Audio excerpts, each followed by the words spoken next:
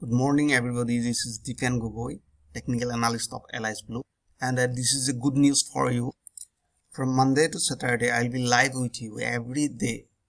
From Monday to Friday, I'll be live in during the market time, and you can directly talk with me. So if you have any position in this market, so you can ask me and we can discuss with you directly, right?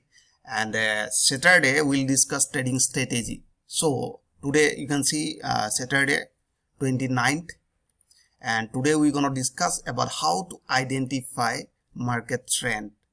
So this is a live webinar and you, uh, you can ask me uh, how to identify or if you have any query so you can ask me directly. So that is why you just uh, register with us and i'm putting this link below in this description and just go there and register with us and be with me uh, from 4 p.m. to 5 p.m. today.